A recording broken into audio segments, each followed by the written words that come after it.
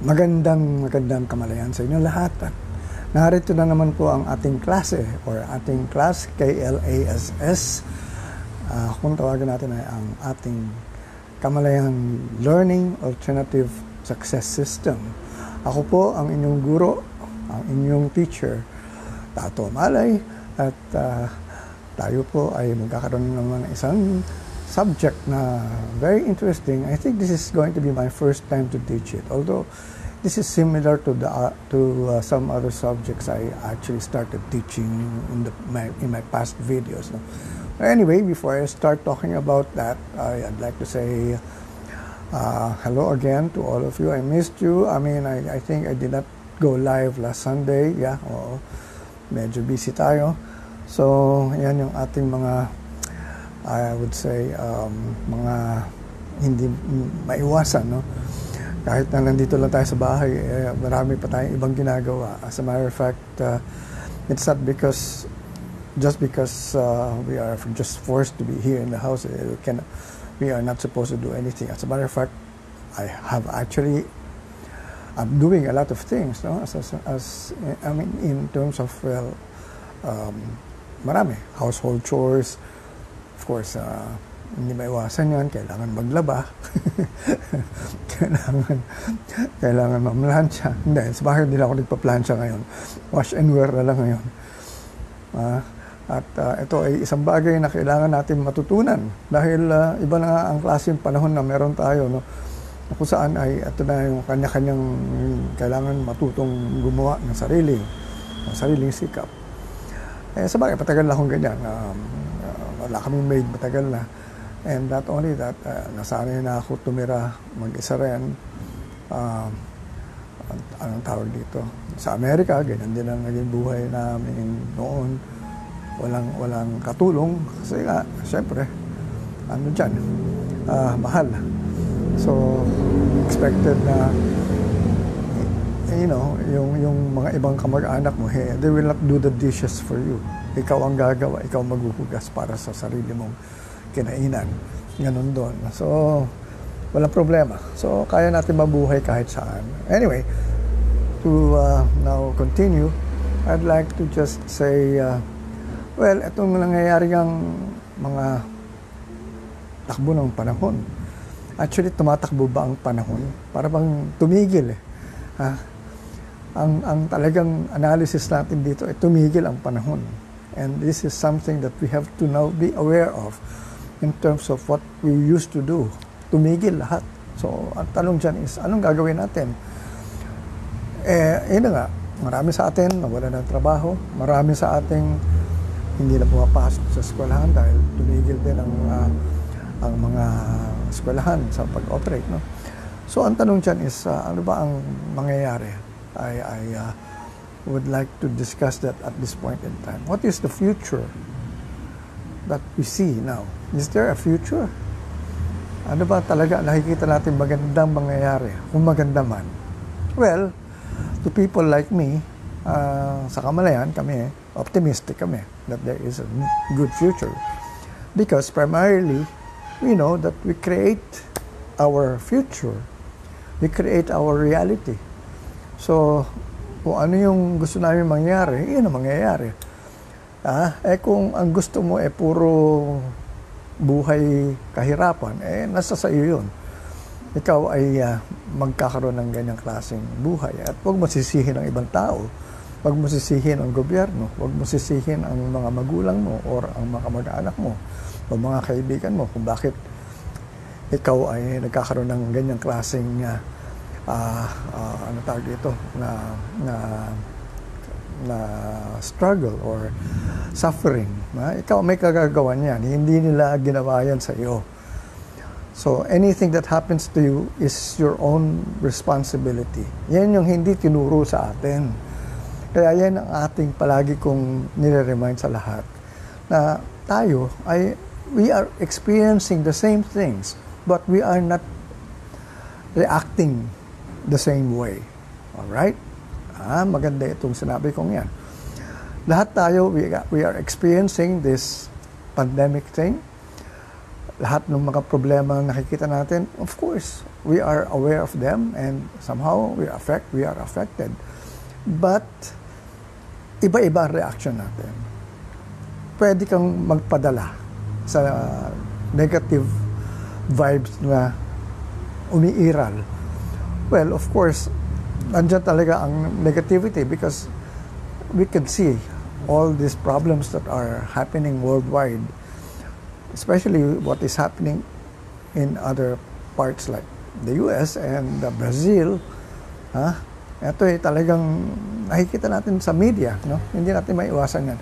But the, the thing here is, ano ang gagawin mo kung ganyan na nga nakikita mo, uh, eh, ano, may magagawa ka ba? Of course, meron tayong magagawa. You can be one with them. But again, paano ka?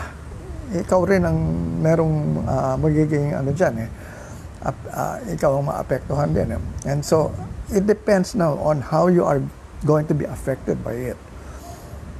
If you feel na para talagang kailangan eh, uh, maging ano ka, makiisa ka sa sa suffering ng iba, no problem with that. As a matter of fact, we, we empathize. Ah? That's the word, we empathize.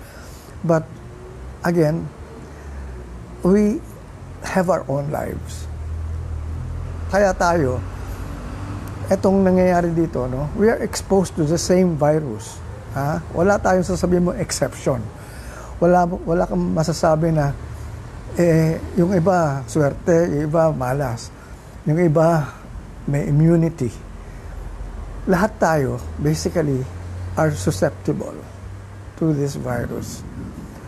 But the, the thing here is, how come others don't get it? Others do. Yan ang tanong eh.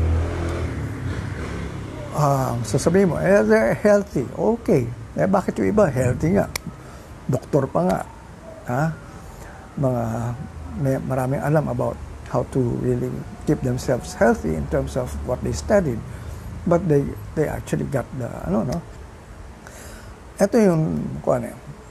Uh, ang importante kasi dito ngayon is for us to know that there is something that is not exactly being uh, I would say talked about even in media.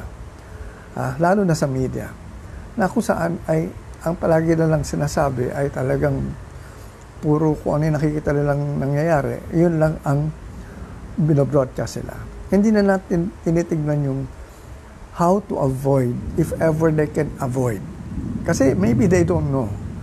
But here in Kamalayan, dito namin tinuturo that you can be immune in some ways. Uh, hindi ko sasabihin totally immune. As a matter of fact, I want to make a disclaimer here I am not a doctor. I am not uh, in that profession. So I cannot really say, or I, I will not tell you to believe everything that I tell you in terms of this this uh, crisis that we're experiencing now. Pero, meron kaming napag-aralan sa Kamalayan na kung saan ay, yun nga, we, we have taken up uh, a subject or a course called metaphysics And the word metaphysics, beyond, ang, ang ibig sabihin yan, beyond the physical, beyond the material. So kumbaga, ito ngayon na nakikita natin dito, material yan, physical. Kami, we try to go beyond the physical. Spiritual, yes, maybe, but then more than just being spiritual. We are aware of another kind of energy another kind of force, another kind of frequency. Iyan ang tinuturo namin sa Kamalayan na hindi tinuturo sa media. At that we can be aware of this kind of, I would say, immunity or power that we can really do to, our, to ourselves.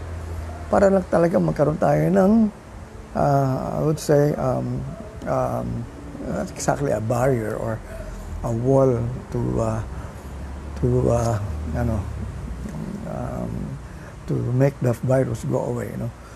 It's going to be there. As a matter of fact ito nga ang masakit na ma ano eh, maisip eh.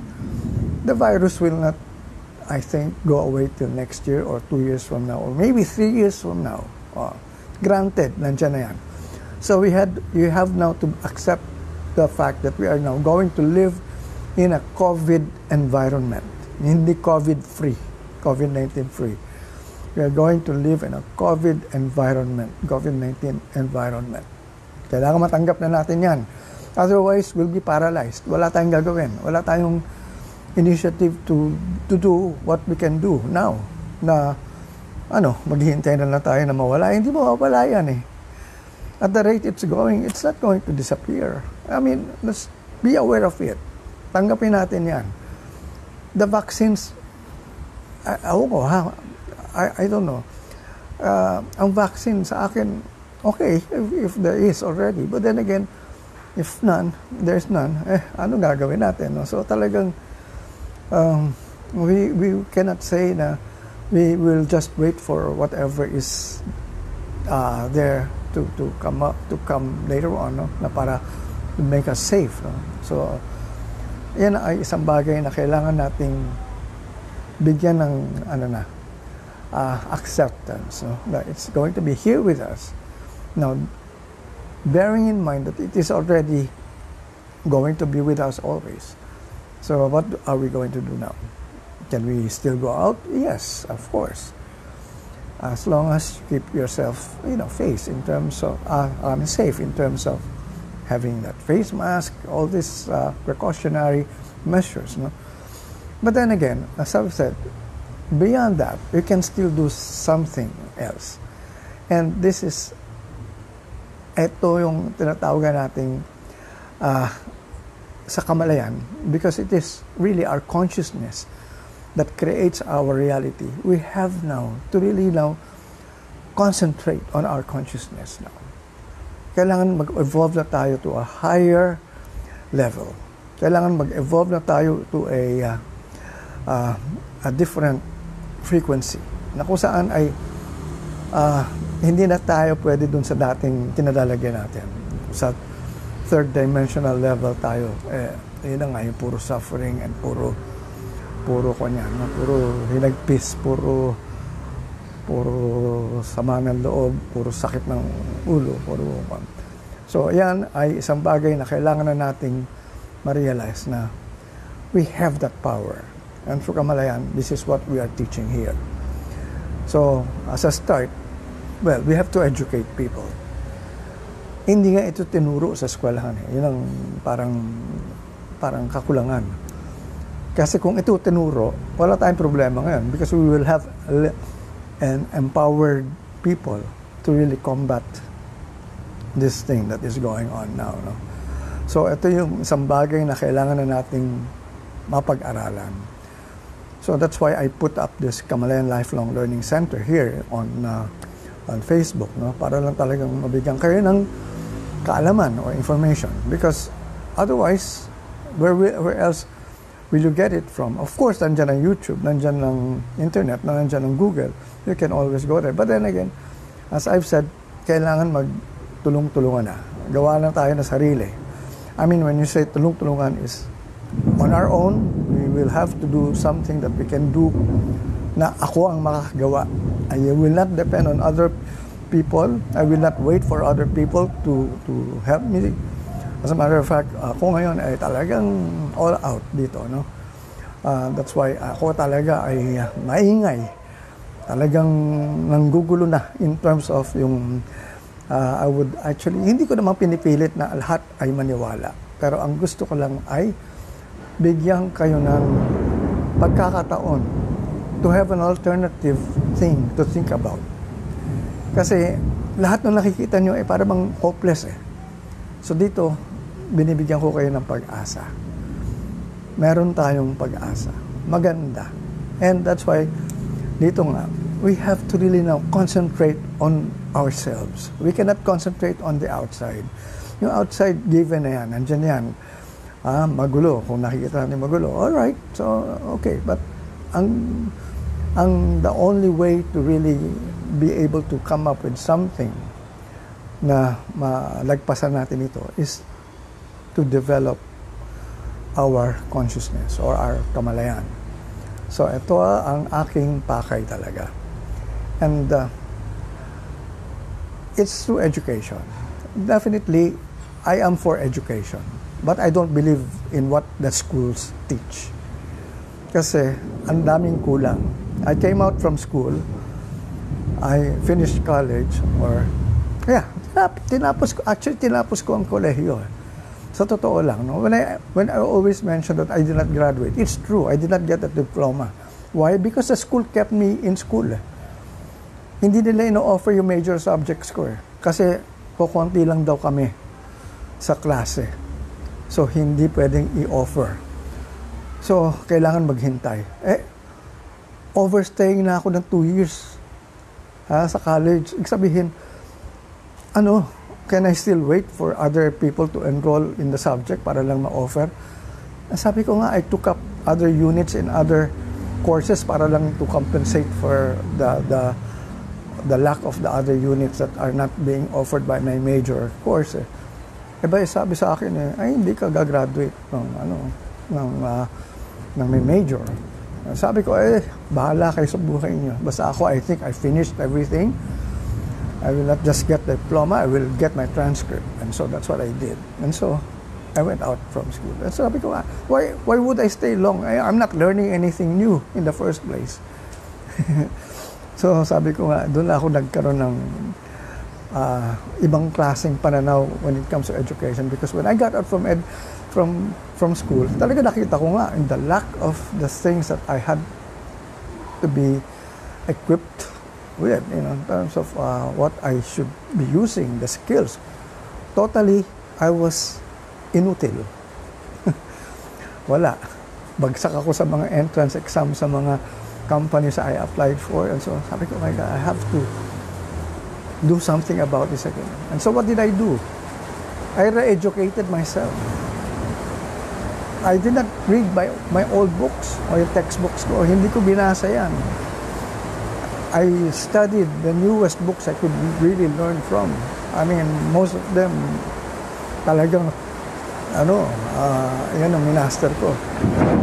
And because of that, doon ko nakita, my God, sabi ko, eto dapat pala ang tinuturo sa eskwelahan hindi itong tinuturo ngayon ng mga subject o ano, ng mga subject na kailangan daanan mo dahil eh sasabi kailangan magkaroon ka ng uh, philosophy 1, philosophy 2, philosophy yan, ganyan, ganyan. Ang daming ganun eh, 1, 2, 3, and 4, and And so, somehow para bang ano yan, para lang just to say na for kailangan yung 4 years mo eh matapos at kailangan maganda yung uh, kung ka, well-rounded ka kung yung baga sa education mo. All right. I well-rounded is a nice word. Mean, nice nice to hear. Pero ang mas siguro ang aking kuan is holistic. Yan. I would rather go for an, for a holistic education. And so this is exactly where I try to now oh yeah, sabi ni Alexa Winter, I don't feel like I belong in school either. So dito nga, I, I actually have this one. I thought actually I thought this in uh, yeah I, I taught this in school. No? I mean uh, I was given the privilege to act to learn about this particular subject uh, when I was already teaching. And sabi kasi, eto, ituro mo ito, ituturo ko ito. Sabi nung isang professor, I mean, he wrote the book Self-Mastery, si Dr. Uh, Ed Morato from uh, Asian Institute of Management. Sabi niya, I want to teach this in schools. But if I teach this, and if, it is, if this will be taught in schools, I need to teach the professors also. And so the school agreed. So, when we were taught self-mastery, ang klase niya, combined mga estudyante na first year, ha, first students, plus kami mga professors. Ha, puro may, iba may PhD, iba kon. Pero we were, we were under one subject because we were trying to learn something new. Sabi namin, sige, okay. And that was what I, am now trying to also include in my Kamalayan, uh, I would say, I hate the word curriculum, pero I think that's the word, no? curriculum. Yan. Alright, oh, Krisha Klim Timbal, Kimban who is watching, is my former student in Assumption. And so, yun na nga, I'd like to now, alright, I would like to now touch on, I will not discuss it, ano, kasi this is a course basically, so if this is a course, four months ito or three, or four months, kasi di ba, in one semester, four months yan eh. So, there are seven types of learning or seven kinds of learning in self-mastery. So, pahapyaw ko lang para lang malaman ninyo na there is such a thing. That, kasi right now, what I want the education department, well, not only in the Philippines, but world, I mean, worldwide, no, global, is to change its curriculum. Baguhin na natin. Etong pandemic stopped everything already in terms of wala tayong ginagawa I think we're not I don't I don't agree that we, we will allow the children to go back to school at this point in time. Ang gusto ko, gamitin natin itong period na ito, itong time na ito. Uh, I don't know who would be able to hear me or listen to me at this point in time. Let's do something about the curriculum. I am not totally for abolishing the educational system in schools. Schools are really important until, yun na nga, maituro natin yung tama. And so, siguro ngayon is the time to really change the curriculum. Ang dami nating kakulangan eh, in terms of what we did to our students. Eh. All right. Our education failed students. That's why our education also had failed society. That's the sad fact there. Malungkot, pero that's exactly what I am uh, uh, ano, uh, I am seeing. No? We have failed the society because our education failed us. Kumbaga, binagsak niya ang mga estudyante. Bagsak din ang... Yeah, you can see naman how we are running our lives. No, I mean not just our businesses or government or other institutions, but basically our personal lives. It's in ruins because we were not taught properly. And somehow, this is something that I am trying now to address. And so, ito nga, ang gusto kong maano ngayon, no? The seven types of learning. I will just go fast on this, pero later on, I will offer this as a real subject already here in uh, our uh, uh, class, no? uh, Kamalayan Lifelong Learning Center. The first type of, uh, first kind of learning is learning how to think. Learning how to think. Mag-isip, hindi mag-memorize. Ang tinuro sa atin, mag-memorize. Eh. We were not taught how to think. We were just told, you read this, memorize this, this is what will, will what will come out in the test. So pag hindi mo na-memorize yan, bagsak ka. That's how the educational system was. So, nag-ano na tayo. We would just cram our our minds or our memories with with some information na kung saan ang dami natin na ipasok after two days or three days nawala na lahat, nakalimutan. That's exactly what happened to us we were just memorizing things na kung saan ay inisip lang natin na kailangan natin pag-aralan dahil ito ang bibigay sa exam.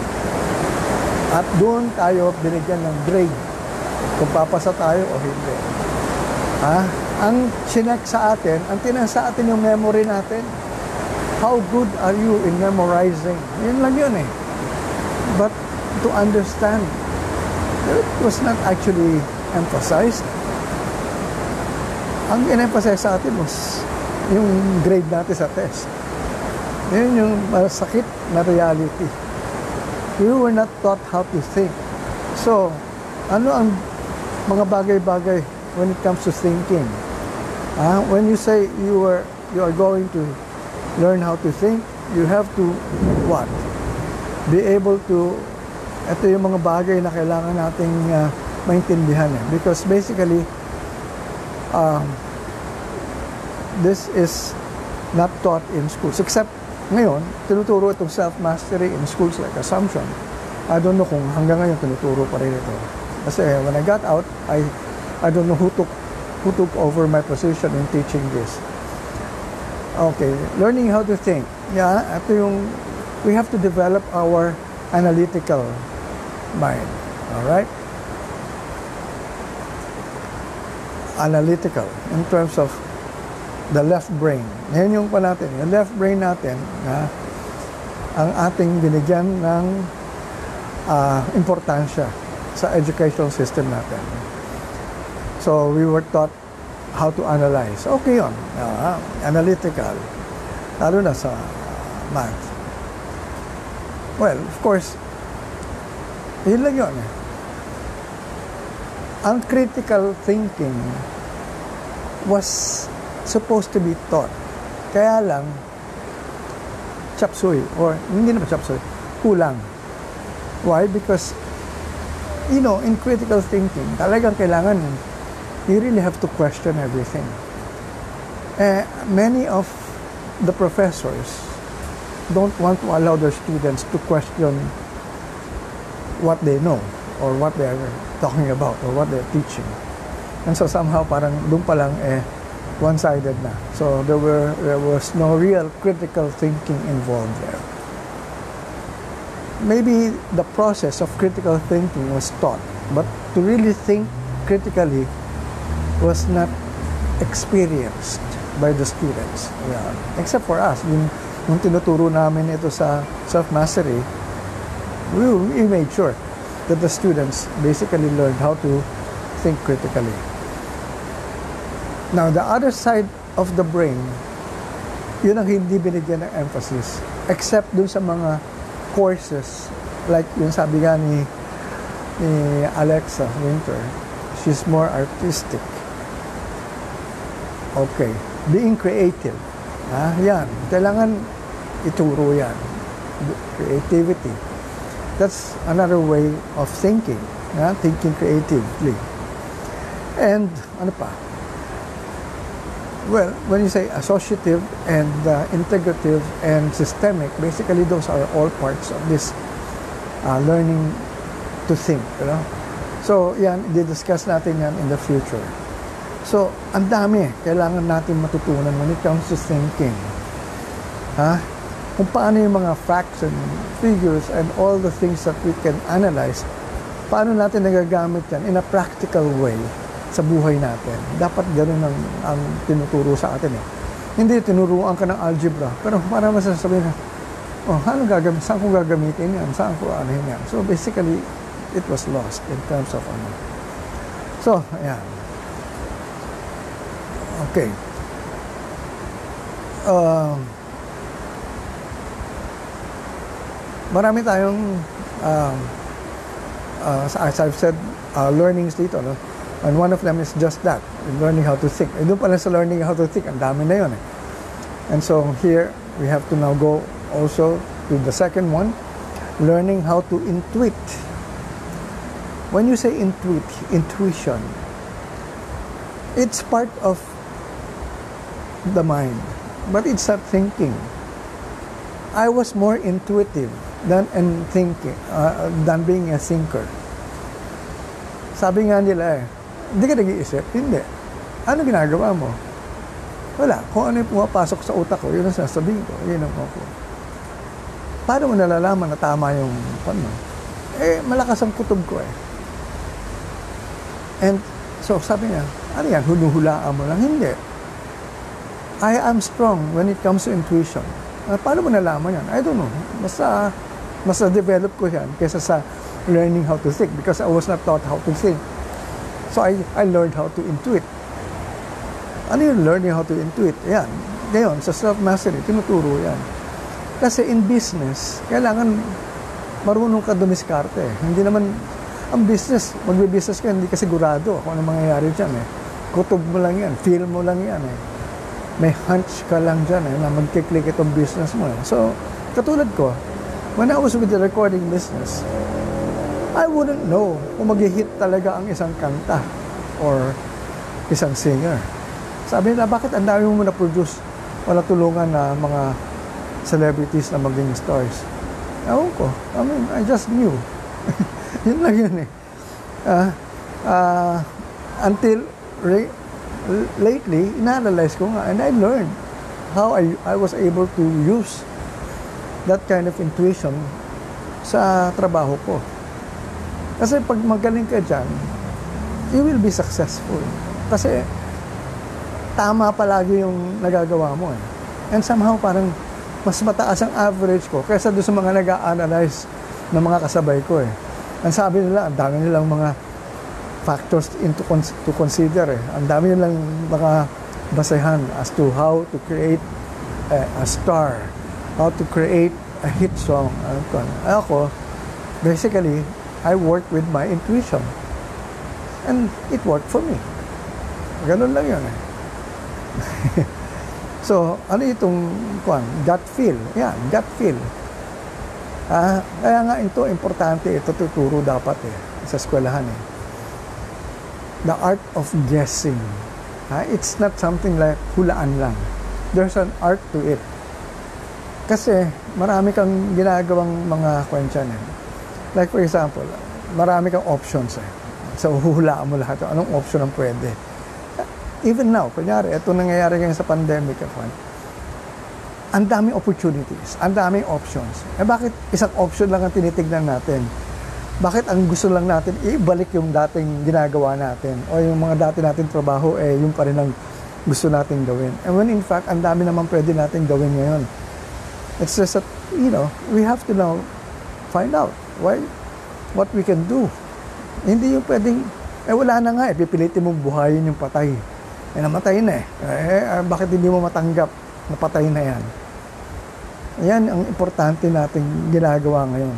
What can we create now? What kind of a new thing that we can really now rely on that can really turn into profit later on? Bakit hindi? Lahat yan nagsisimula sa mga pangarap. Lahat yan nagsisimula sa mga uh, ano tawag dito, yung mga feel lang nila na, ay, ito gusto ko eh. Ayan. So, ayan. So, dito, tinuturo namin yung how to you really use the, the kumbaga parang sixth sense ito eh. Kasi when I taught this to my students, remote viewing and remote sensing. And remote viewing is I have two two students side by side. They don't know much about each other. Hindi nila kilala ang personal lives bawat isa. And somehow, ito yung pinagagawa ko sa kanila. You go to each other's home, ah, yung bahay nila. Hindi pa nila napupuntahan yon. Hindi pa nila, they don't know where, kung saan man yung bahay nila na pinanghuhulaan ko sa kanila, yung kapartner nila. Kasi pag pinag-partner ko sila, at random yon no? so walang friends na close. So hindi pa sila napunta sa bawat bahay. Sabi ko, okay, let, you have to now uh, concentrate you have to find out exactly how the house of your friend or your classmate looks like. Go to her house without going there physically. And so, taka sila, paano? Basta concentrate, meditate. And what you will see now in your mind, describe it. Alam nyo, 90%, no 95% nakukuha nila. And somehow, doon sila nasa-shock eh. Sabi niya, Sir, paano namin nahuhulaan? Bakit ganun eksakto kung ano yung sofa, anong kulay, saan nakapwesto, anong ilang rooms ando doon, anong nando doon sa kwarto, anong meron doon sa sala, anong design nung anong kulay ng walls, kung may garden, anong kulay ng gate, nahulaan nila. Perfect. See, that is exactly what we do. What that is a, that is our power. We have that. And you have to develop that. Ang problema, hindi tinuturo sa eskwela yan eh. Except kami lang noon when we started to teach self-mastery. So sabi nila, oh, kailangan natin ito. And so sabi ko, kailangan talaga. Kailangan maturo yan ng tama. And so, yun. So remote sensing, uh, remote viewing. Or remote sensing naman is when, na nga, I, I actually would ask one, one girl to come up sa front ng class And I would get her her cell phone. Sabi ko, oy, you turn around, don't look back. I will give your cell phone to one of your classmates uh, at random, and then I'll make you look for it. I will not tell you why, your classmates will not give any hint, pero you will find it using your intuition. And so, that's what they did. Pagtalikod, when I said, okay, turn around, look for your cell phone. So yung binigyan ko ng cellphone, sabi ko sa kanila, don't actually give any hint na nasa iyo. Kunyari, dead ka lang. So, yon ganon. And all the time, the students were able to guess. Eh, imagine, ilan sila doon, kung 30 students yun, or 20 students, among, only one among those 30 students has a cell phone. And nakukuha niya kung sino yung nakanino yung cellphone. And so how did she do it? Using her intuition. And it can be taught. Ang dami ngayon. Ang tinuturo kasi, ano lang eh, kung ano yung nandiyan that can be measured eh. Kasi sabi nila, eh kasi this thing cannot be measured eh, kaya it cannot be taught eh. Wala kayong pakialam kung ayaw yung measuring yan. Alright. Okay. Alright. So, ito na yung mga bagay na kailangan natin talagang bigyan na ng panahon.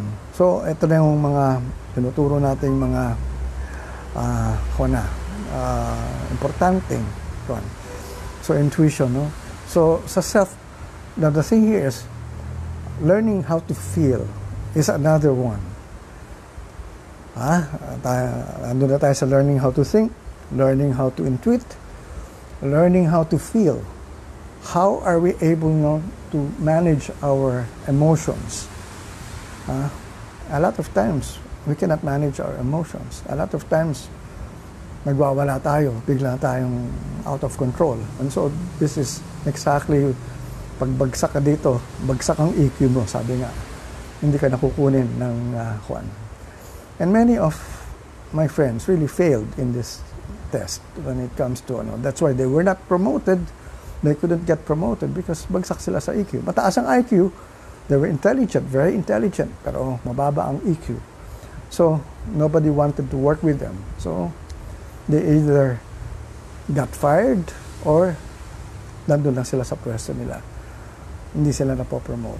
Those who are promoted are those who are high in EQ. And that's why, because a lot of these people really know exactly who they are. Kasi in, in learning how to feel, you really get to study who you are, self-awareness. Everything about you, how you feel, how you actually look at things. Somehow, parang diyan mo nakikita ang, ang nangyayari sa, sa pagkatao mo. And this is the thing that gives you direction. Kasi kung hindi mo alam kung anong gusto mo, hindi mo alam kung anong magpapasaya sa'yo, hindi mo alam kung ano yung mga magagandang bagay na uh, kaya mong uh, makreate, eh somehow, walang mangyayari sa buhay mo. And so, if you are able to now master how you feel about yourself, you're happy about being you, uh, you can do wonders with so many things. But kung galit ka sa mundo, dahil galit ka sa sarili mo, eh walang mangyayari. Po, kaaway mo lahat. Walang, walang makikasama sa'yo. And this is something that is the least now that is needed in this particular time. Kasi right now, sa kapupunta ngayon? You just have to follow everyone na maka, ano natin ngayon. Kasi we're playing by the, rule, the rules ngayon. I mean, uh, we are not exactly that free to go around at this point in time because uh, meron tayong mga sinusundan na mga procedures no, at this uh, ano, predicament that we're experiencing. So, pag hindi mo na control ang sarili mo, magwawala ka. Ang dami natin nakikita sa TV niyan, no? Nag-aaway, ay iba, ano na, nade-depress na lang. And so, this is now the time to really know how to really look at our feelings. So, because otherwise, the moment we feel depressed, the feel, we feel disappointed, frustrated, eh, eto na yung mga talagang mga sisira sa'yo and you will just be paralyzed. Wala nang wala nang uusad sa mundo mo. You will just be attracting all the negative things in your life. Yan. So, yan ang mga bagay na kailangan nating maintindihan. So, learning how to feel. So, awareness, mastering our adverse emotions. Uh, um, yung intrapersonal, this is what I call, uh, there are, sabi ko nga, I, I developed two kinds of intelligences in my life intrapersonal intelligence and interpersonal intelligence. And ba, paano ko na-develop yung intrapersonal? By being able to know who I am. Uh, lahat ng bagay na ko, I, I, I try to find out. My personality, kung ano man yung personality ko, binigyan ko ng importansya yan. Although I can change my personality from time to time, pero at that particular moment, I had to find out where, where, where I was so, so that I would know which ones I would like to change in myself, in my, in my, my ano, uh, in my, um, uh, uh, in my psyche. Lalo na sa attitude ko, if I have attitude problems. And most of the time, a lot of us have, have attitude problems. So, pag hindi mo na ayos yan, eh, talagang wala mang, wala mangyayari sa buhay mo. You will just be complaining and uh, uh, you'll just get frustrated with life. So, yan. Yan ang mangyayari ko mo. Hi, uh, Rhoda Ann Guzman is watching. Okay. So, learning how to feel. The next one that we teach in self-mastery is I think this is the fourth one or the fifth one now. Learning to do. Ano yung learning to do? Kasi many times in school, ang ginawa sa atin is you have to study all these things, lahat ng subjects na binigay sa atin, so that you will become, or you will do this. You will do this kind of work in the future. We were not actually taught how to be. We were taught what to do. And most of the things that were taught to us were, you know, related to our course, kung ano man yung course na yun. So, we were not human beings. We were, there were, our schools were, our, school, our schools created not human beings, but human, human doings. Di ba pag nakikita-kita mga ta, mga magkakaibigan o mga friends, so, uh, normally, ang, hindi naman tinatanong, how are you? Well, siguro, how are you? Panglabas lang yon, pang unang kuan. Pero ang, ang mas importanteng tanong nila is, what do you do? How, anong ginagawa mo? Anong trabaho mo? Ano ka na ngayon? Ayun, ano na ngayon ang ginagawa mo? Ayun ang importanteng gina, uh, inaano natin kaagad, binibigyan natin importansya. What are you doing? So, of course, it's important, import, importante rin yan. So, we have to learn how to do. But do you know how, I mean, do you know how to do? Or do you, do you know what to learn, how to do? Gulo, no? Hindi, kasi there are three parts in doing. Ha? Okay, ano ba ang kuan? There are uh, three different stages in doing.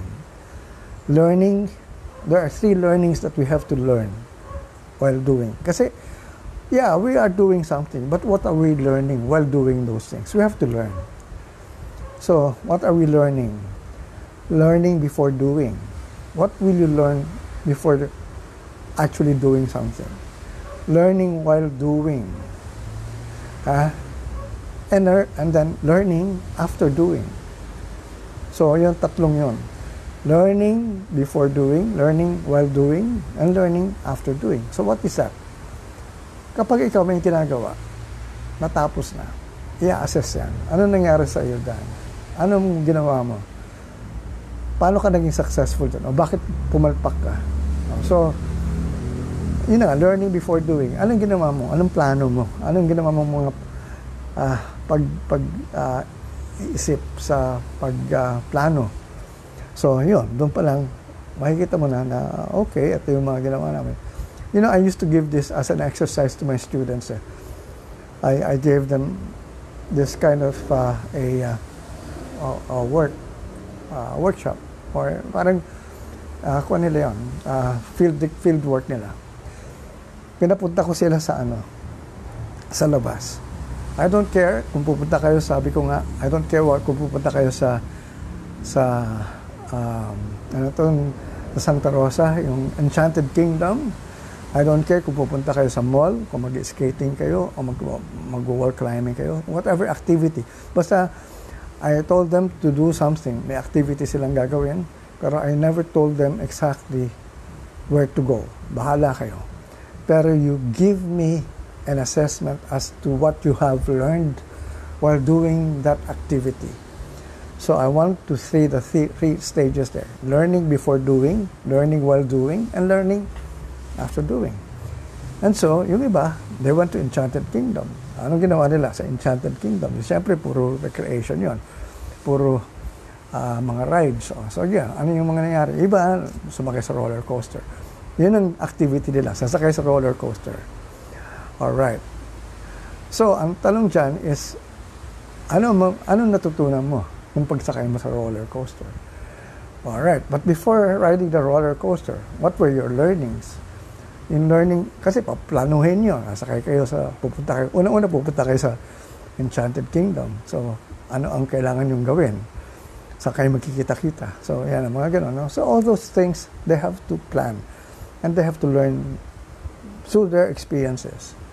So, ganyan. Kasi kailangan experiential eh. Hindi pwedeng theoretical eh. So, ito na yun. So, they went to Enchanted Kingdom. Yun na nga. But before entering the gate, they had already planned. Of course, they had to have money.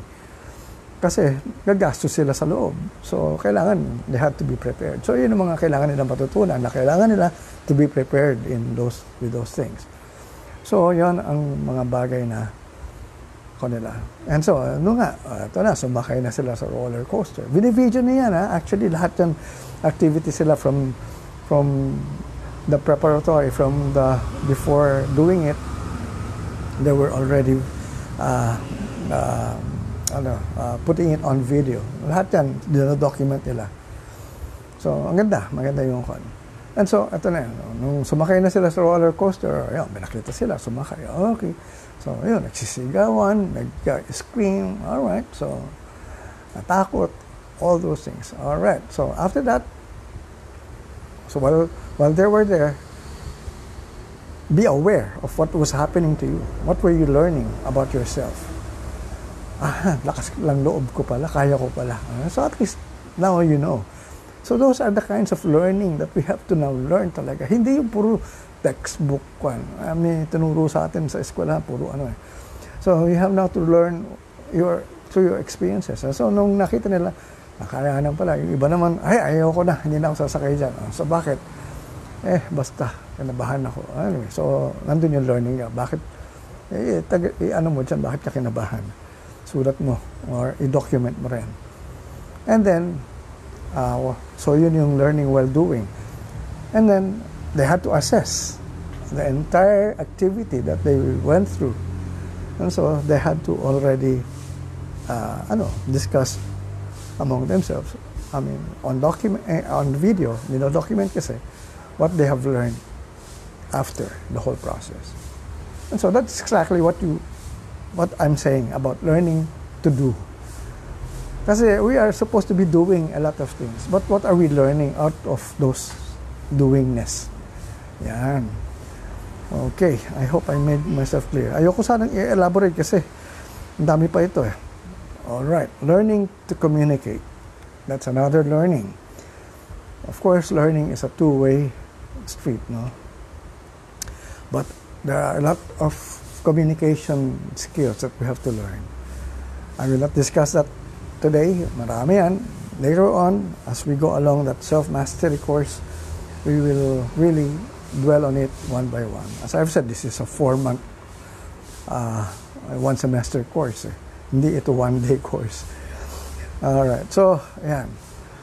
So, learning how to communicate, the different styles of communication. So, we have to learn exactly what goes on in, in terms of how we communicate.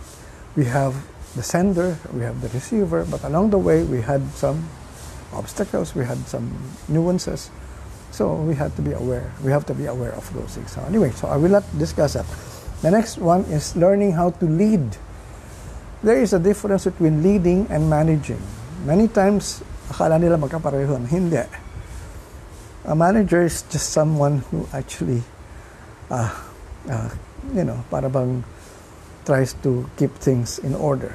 But a leader actually does something else. Uh, so, ito yung mga qualities of a leader that we would discuss. Uh, uh, uh, what it entails to be a leader.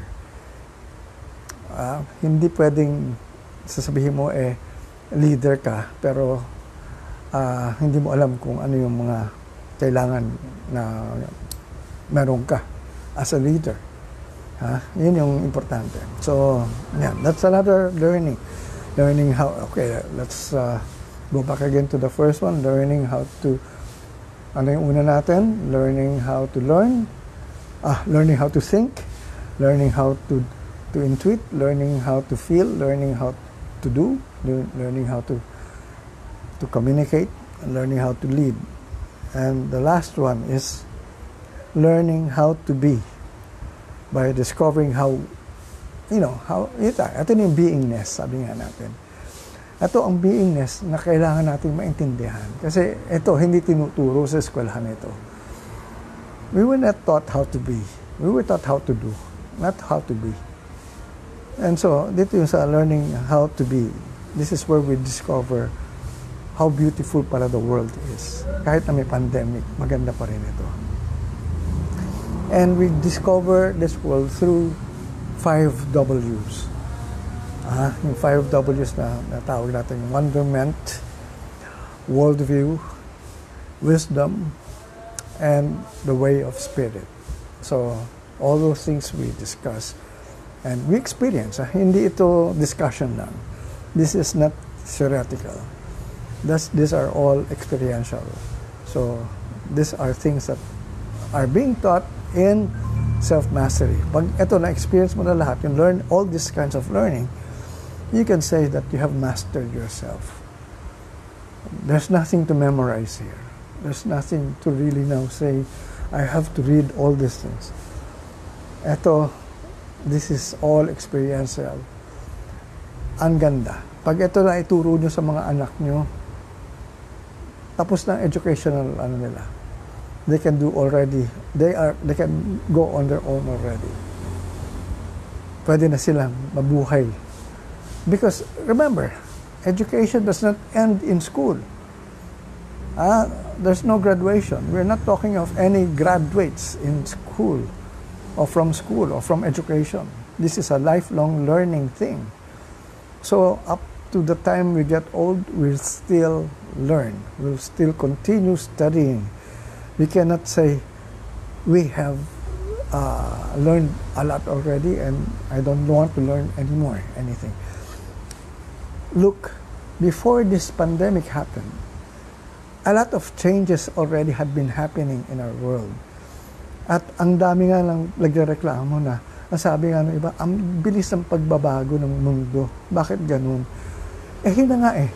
Ang bilis ng pagbabago, pero ikaw, hindi ka nagbabago. Hindi ka sumasabay sa pagbabago. Dahil kung ano yung alam mo, hindi na applicable dito sa mga nangyayaring pagbabago hindi ka nag-aaral ng mga bagong kailangan matutunan.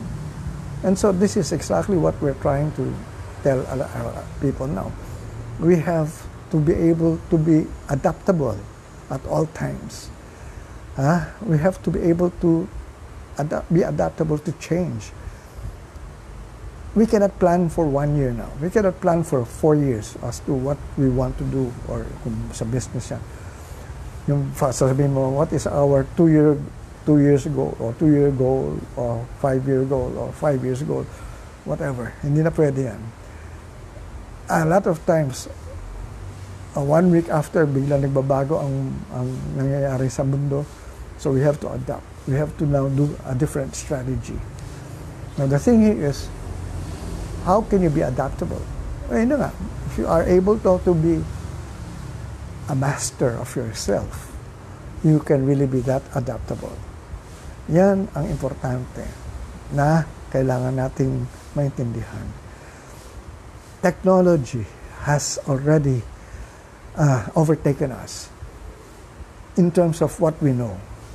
Mas marami nang alam ang computers kaysa sa atin in doing things. Kaya nga, marami sa mga trabaho ngayon can be taken over by computers, by machines. Hindi na kailangan ng to hire a, a, a new employee. Because basically, this is not anymore uh, matu, uh, uh, uh, ano, uh, practical. Kasi mas, mas mura kung yun nga, gagamitin mo na yung machines o yung computers o yung AI na tawagan natin. But now, we have already developed that AI, the technology, in terms of being able now to really see uh, how things can really go uh, beyond the, the ordinary. Huh? Technology has surpassed our expectations already. We have sent man to the moon. We have already all this internet that can bring us whatever need information we need. So basically, it's here. Now, what do we do with this technology?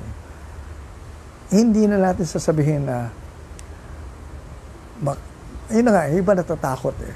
Kasi sabi nila, it might just overtake uh, in terms of how we run our lives. Yes, if we, if we allow it. That's why ako, I, I, I don't allow it. Ang, ang akin tinuturo is, yun na nga, yung AI, sa akin, sa kamalayan, it's not AI, it's I am. I am consciousness. Kasi yung I am consciousness is the one that actually runs AI. Ha? Kaya nga yung bagong logo ko ng Kamalayan, I am Kamalayan movement, it's yung I am nandoon sa ano. Although, yun nga, hindi natin pa naituturo yan ng maayos sa eskwelahan. But, yun nga, the I am is the thing what do you do what you whatever you do with that I am will happen to you or will actually dictate the course of your life. So importante is what we do with the I am because that is the most powerful thing or yeah, that's the most powerful thing that we are now um, entitled to have. Uh, at Kamalayan. Because remember, we are creators. If the computers can do these things, say, who created these computers? Tayo naman yan eh. Tayo nag-program yan eh. So we can really create all whatever we want to create pa further. And ang tanong dyan is, what can we now, in terms of uh, this pandemic thing, do? So, eto na. We have to now be able to use our I am properly, our consciousness. Yan. So before I continue further, I'd like to say hi first to a lot of people. Ang dami na pala nanood. Uh, I'd like to say hi to Tan Rahay or Rajay. Uh, I don't know how to pronounce your name. Lance Edward is watching. Kumusta Lance? Lance Edward. Lance um, Sir Vela is watching as well. Remo Moraleda is watching also. Jovencio Aguilar. Sandra Sobel, hi, hello. Alexia Winter, all right. Bong Santos, Jonas Diaz, Joanna Bernard Lucerna, Lucena, right. And Alexa Winter, Krisha Lim Kim, Kimban. Ito si Risha Lim Kimban, nasa Middle East na yata ito. Jog, ah, si Jogra de la Torre is watching. Alright, meron tayong mga messages dito. Let's read. Sabi ni Alexa Winter, both of my parents were doctors and they were forcing me to do the same. But I stood up for myself. I became what I wanted to do in life. More in spiritual path in my life. All right, very good. Congratulations. All right, so Crystal De Leon Tapayan is watching also. Now, Raymond Moraleda said, now that we aged, intuiting is getting stronger. All right. Kasi di ba tayo distracted by the shallowness of materialism and consumerism. Oh, that's true. Yeah. Totoo yan. And Rhoda Ann Guzman is watching. Manuel San Mateo, hello.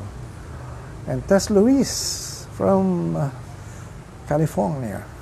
Kamusta na kayo dyan? Ron Fabs. Nellen Herrera is watching as well. Okay, thank you, Nellen. Okay, so, all right, so, okay. All right, ano ba ito? Ang dami kong messages, pero bakit ba ako napunta sa ibang, napunta ako sa messenger. Anyway, all right, let's go back to our, um, so, I have discussed a lot of things. Uh, self-mastery, those are the seven kinds of learning that we really have to teach our children. Even us, who have graduated already. This is the time now to learn all these things. We never learned this in school. So, dito sa Kamalayan, sa Lifelong Learning Center, we will teach that. As a matter of fact, watch out. Later on, I will actually discuss kung ano talaga yung mga mangyayari sa ating eskwelahan, no? Because uh, talagang things are happening now sa ating uh, um, kwan, sa ginagawa natin na maayos. Uh, people are really helping us. And in terms of, well, we are creating this website where we can really address all your needs in terms of what we can give you sa ating mga tinuturo sa kamalayan. So, if you have questions, let me know. No? All right. So, continue. Now, the thing here is, ano ba mga kailangan pa natin talaga matutunan? Aside from what I mentioned earlier, well, the skills that we need now to have, this is not only for, for children, for students. Lahat tayo ngayon are students because we are students for life. Lifelong learning to. The pandemic thing already told us. Uh, this brought us into this kind of a reality that we need to learn a lot of new things now. Because the old things that we learned will not suffice for the needs of the uh, for our future needs. Wala. Kulang na. Or for that matter, hindi na relevant. O hindi na pwede. So we really have to learn a lot of things. Hi, Bongo Ferraren, kamusta na? So this is where now we are now teaching talagang people to learn the right things. Hindi na yung tinuturo sa eskwelahan na all the other subjects na pinag-aksaya na panahon. That's why nga, itong nangyayari ngayon, huwag na muna natin pabalikin ng mga bata sa eskwelahan. Let's stop school. Let's concentrate on the change of curriculum let's cut the curriculum in half. I, I, I suggest it's just a waste of time eh, for us. Ako, I wasted how many years? Six years or five years in school, in college. Learning nothing. All I, I, all I really learned in school, I learned it in my elementary days.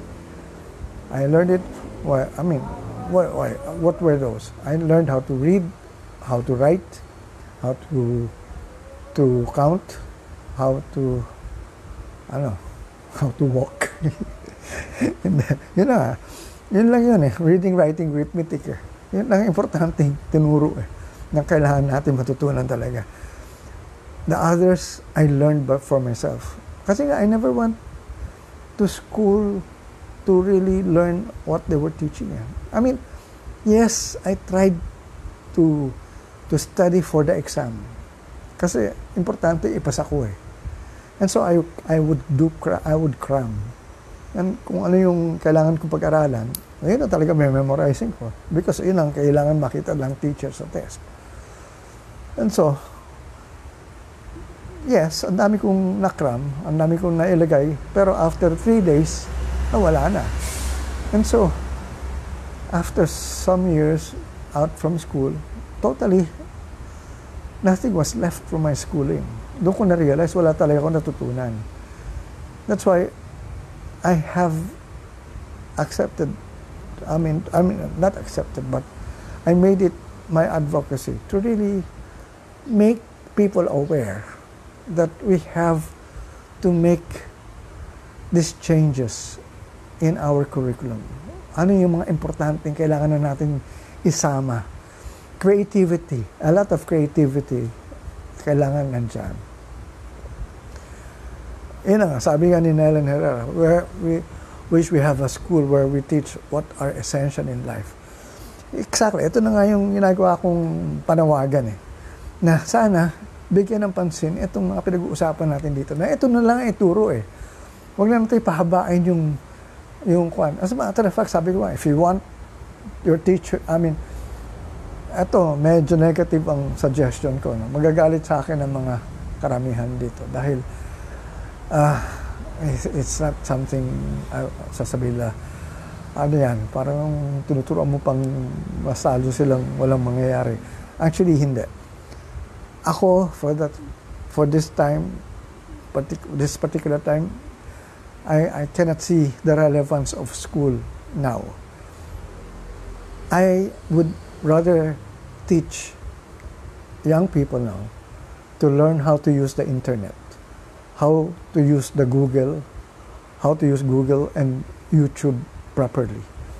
Nandun lahat ang mga magagaling na teachers na pwede mong maka, makaroon ng mga magagandang learning. You can choose whatever thing that you want to learn now. Wala kang, uh, sabi mo, walang grades dito, walang magbabagsak sa'yo. Whatever, whatever you want to learn, do go. Go ahead and try to learn them. And this is, look at this time ha. Ito na eh. Ito mga bata ngayon, pinanganak ito at this point na kung saan technology already had been advanced in terms of the development. And these young children, bigyan mo ng gadget. Walang manual ah. Bigyan mo ng gadget. Mau-operate nila. Ay yung mga matatanda, ha, na katulad namin, bigyan mo ng gadget, bigyan mo na ng manual, hindi ba nila ma- malaman kung paano ma-operate? I, I admit I'm one of them. I need help. I, I, I usually would go to my nephews and nieces to help me out with my gadgets, with my laptop, with my tablet, with my cell phones. Pero sila, para bang, ano eh, five years old na, alam na, alam na kung paano ko. So, this is their, ano, Kumbaga, they're born with it. Or maybe, yung nung bago pa sila panganak, alam na nila na second, ano na sa kanila itong, sec, uh, uh, part of their nature already is that kind of how to use technology. Yan na yung kanila. Kumbaga tayo noon, eh, books, eh, ito ngayon sa kanila, technology. So, we give it to them. We should give it to them. Yan na yung kanila eh. Huwag na natin ituro sa kanila yung mga natu, yung dinaanan natin, pasay na yun eh. Ah, hindi na yun uso. Ah, wala nang silbi yun. Kung ano yung nandyan ngayon, that can really be of help to these young kids now. And we just have to guide them properly. Turuan mo lang yan. Or huwag mo na nga turuan eh. Hay hayaan mo lang. I-guide mo na lang kung ano yung gusto nila. Sabi mo, oh, what do you want to do? Oh, sige, you can search on this. You can do this can go. Sige, learn this, learn that. Oh, sige. Pag na-discover nila kung ano yung gusto nila, sabi nila, I don't like that. Okay, what else do you want to learn? What else do you want to know? Oh, so, kasi it's always a trial, trial and error. In school kasi we were not allowed to fail. Kasi failure was not an option in school. Failure, bagsak ka, ulit ka, or tanggal ka sa eskwelahan. Dito, failure is an option. If you fail, try again. So, if you don't like it, you don't actually succeed, go ahead, do another thing. And find out what exactly will actually make you happy. And this is where this particular thing that I am teaching on self-awareness and self-mastery is important to learn. Kasi kung hindi mo kilala sarili mo, wala rin direction. Pero kung kilala mo ang sarili mo, kilala mo ang mga, alam mo ang gusto mo, So, mananavigate mo ang sarili mo through the internet. And you will be able to make use, ha, good use of technology. And that is exactly what we need, we need to learn now from, from these times. What's happening now. Technology is there already for our use. Make it applicable and might make it be useful. Especially to young, young people. Ako, ito na, kung online, online, sige, alright. Because they'll be at home with it eh. Ang mga bata, they'll be at home with gadgets. Sabi mo, eh, wala gadget. Eh, bakit? Eh, kung tuition fee ka, magkano gagastos mo sa tuition fee?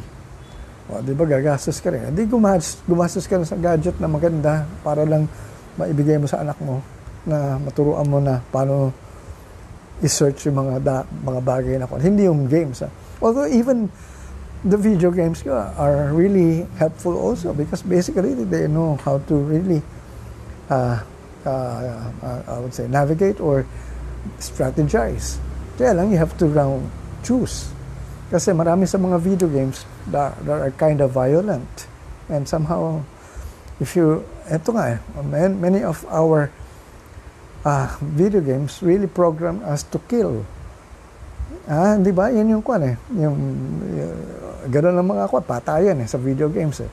That's why nga, many of those who have been doing these rampages na out of the blue, bigla na lang dadalhin yung machine gun ng tatay nila, pupunta sa isang mall, biglang ma, bigla na lang papatay ko sino-sino.